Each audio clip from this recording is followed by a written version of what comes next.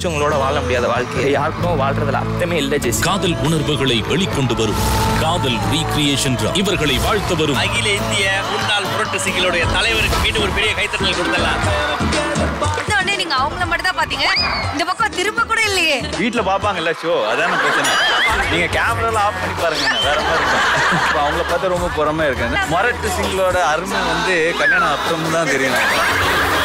மொரட்டு single. Powered by Nippon paint ஆட்டம் ஃபைப்ரா ஞாயிறு மதியம் ஒன்று முப்பதுக்கு உங்கள் விஜய் மற்றும் டிஸ்னி பிளஸ் ஹாட் ஸ்டாரில்